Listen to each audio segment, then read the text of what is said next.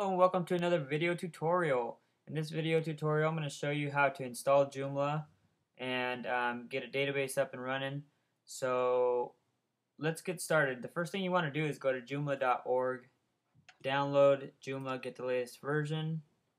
And the latest version right now is 1.5.14 full package. Go ahead and click the zip file and hit save. And once you've downloaded that, you're going to have a zip file. Double click on that. And it's going to open into a folder. Now this folder can be named whatever you want it to be named. So let's rename it. And I'm going to name it my new website. And if you double click that, you'll see that there is a directory structure that Joomla already has in place. So what I'm going to do is I'm going to open up my htdocs folder by going to applications. Go to my MAMP folder which is right here. And I'm going to go to htdocs and I'm going to drop this whole folder in there so I'm going to go back a directory and drop my new website into htdocs so there we go. Now I have my new website right there. And I'm going to close this window out and I'm going to go to my MAMP home folder. So it's localhost MAMP. And here I'm going to go to phpMyAdmin. And I'm going to create a new database called my new website. And I'm, the collation, I'm going to go to the very end, which is UTF-8 underscore Unicode underscore CI and hit create. So now I've created my new database and it doesn't have anything in it.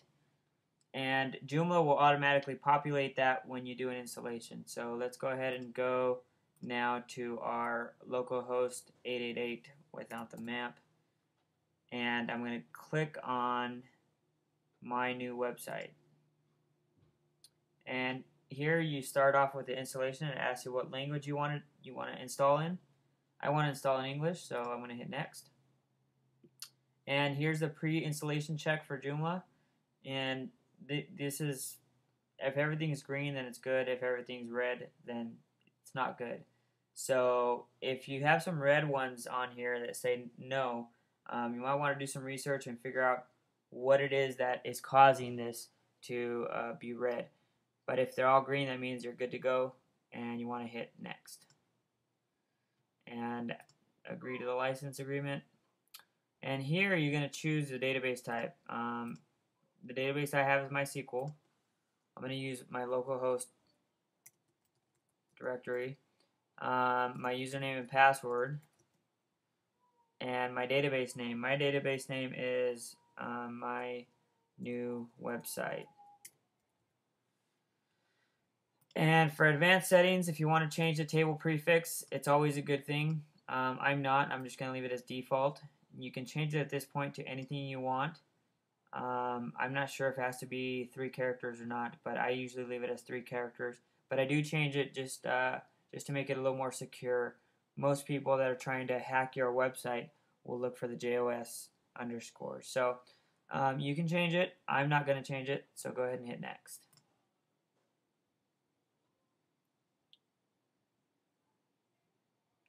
And if you want to use your FTP configuration settings, um, you can click yes, but I'm, I don't want to, so I'm going to say no.